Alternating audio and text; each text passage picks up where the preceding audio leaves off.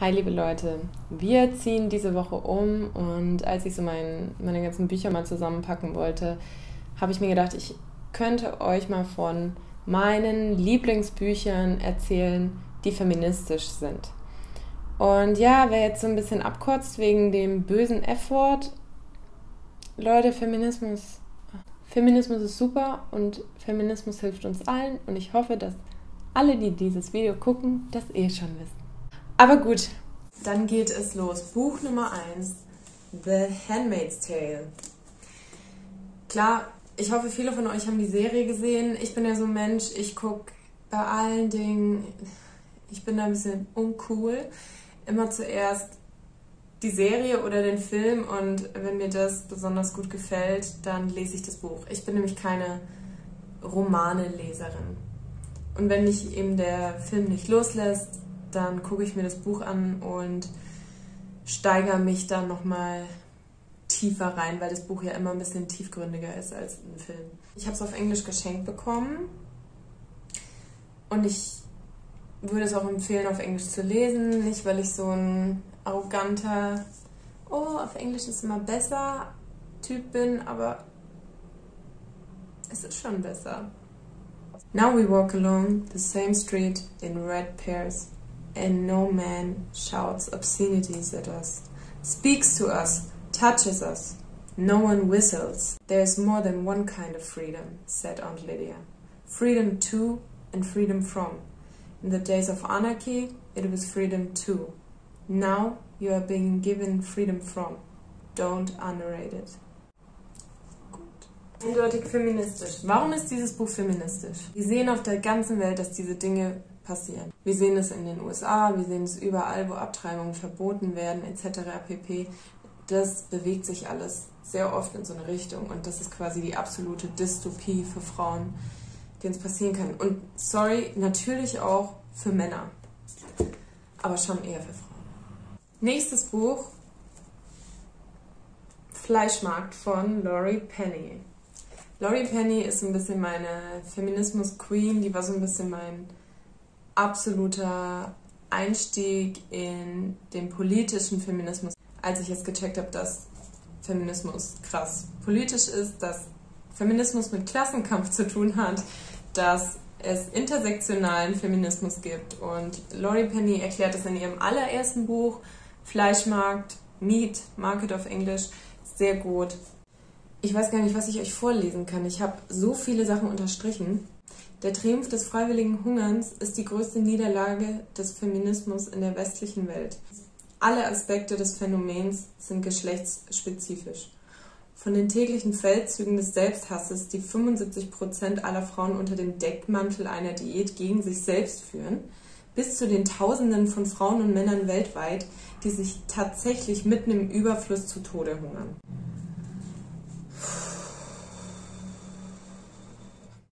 Auch ganz große Klasse. Bitch Doctrine ist ihr fünftes Buch.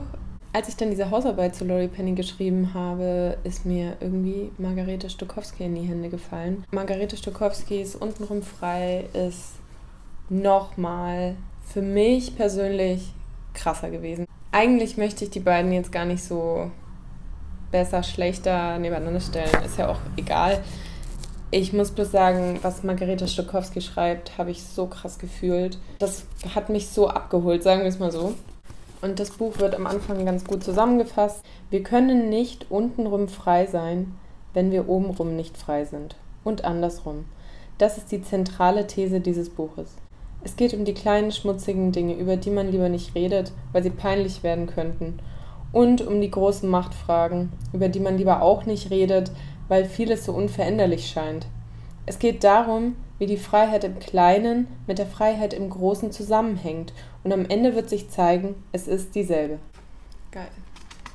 Dieses Buch hat mir auch eine der wichtigsten Dinge über Vergewaltigung erklärt, und zwar die Worte Missbrauch oder Vergewaltigung sind schlimmeren brutalen Fällen vorbehalten, denke ich. Vergewaltigung ist für mich damals etwas, das Frauen zustößt, wenn sie spät nachts alleine nach Hause laufen und dem falschen Fremden begegnen, der dann über sie herfällt. Ja, äh, nur zur Erklärung, das ist ja das Bild, was wir vermittelt bekommen haben, dass das irgendwelche bösen Männer sind, die einen dann nachts, wenn man über die Straße läuft, angreifen. Dabei sind es statistisch auch belegt in den meisten Fällen Leute, die uns nahestehen, Boyfriends, Familienmitglieder, meistens der eigene Mann eigentlich. Intersektionaler Feminismus bedeutet in Kurzform, dass Feminismus nicht nur für weiße Mittelschichtsfrauen ohne Behinderung da ist, die dadurch einen noch geileren Job kriegen als vorher und sich dann eine türkische Putzfrau leisten können. Denn wer putzt für die Putzfrau? Really, really, really fucking good. Ist so ein bisschen wie eine persönliche Bibel für mich. Ja, noch ganz wichtig, wenn wir von Feminismus reden, der Mann muss natürlich auch mit einbezogen werden und vor allem unsere Söhne. Auch eines der krassesten Bücher, die ich in den letzten Jahren gelesen habe, ist Prinzessinnenjungs von Niels Pickard. Niels Pickard ist der Chefredakteur von Pink Stings, eine Organisation, die sich mit Sexismus in der Werbung auseinandersetzt und da sehr viel aufdeckt und sehr wichtige Arbeit macht. In dem Buch geht es um die Erziehung unserer Söhne. Und Erziehung klingt jetzt gleich wieder so streng, aber es geht darum, dass wir Männer nicht in dieses Korsett erziehen, wo sie nicht weinen dürfen, wo sie nicht Kleider tragen dürfen, wo sie nicht Glitzereinhörner toll finden können, wo sie einfach in dieser in diesem kaputten Konzept von Männlichkeit gefangen sind, in der heteronormativen Männlichkeit, die einen kaputt macht, die einen von seinen Gefühlen abtrennt. Das Buch hat mich total fertig gemacht. Niels Pickard war 2011 sehr viel in den News, weil er einen Sohn hat, der gerne Röcke trägt und das im jungen Alter entdeckt hat und er, also Nils, dann angefangen hat, auch Röcke zu tragen, um ihn zu supporten. Und dann gab es sehr viele, sehr viele Artikel auf der ganzen Welt, die sich um diesen Papa im Rock gedreht haben. Ich finde seine Geschichte total berührend und es ist toll, dass er jetzt ein Buch geschrieben hat. Ich kann mich gar nicht entscheiden, was ich vorlesen soll. Gender Marketing, also das gezielte Ansprechen von Geschlechtern durch Stereotype, ist nie nur Angebot, sondern immer auch eine Form von sublimer Drohung. Wenn du nicht mitmachst, wenn du für uns nicht identifizierbar und kategorisierbar bist, dann gehörst du nicht dazu und wirst entsprechend behandelt. Ab einem gewissen, meist sehr frühen Alter geht es in die Eishölle. Wer länger braucht und offensichtlich auf Trost und Zärtlichkeit angewiesen bleibt, ist ein Muttersöhnchen.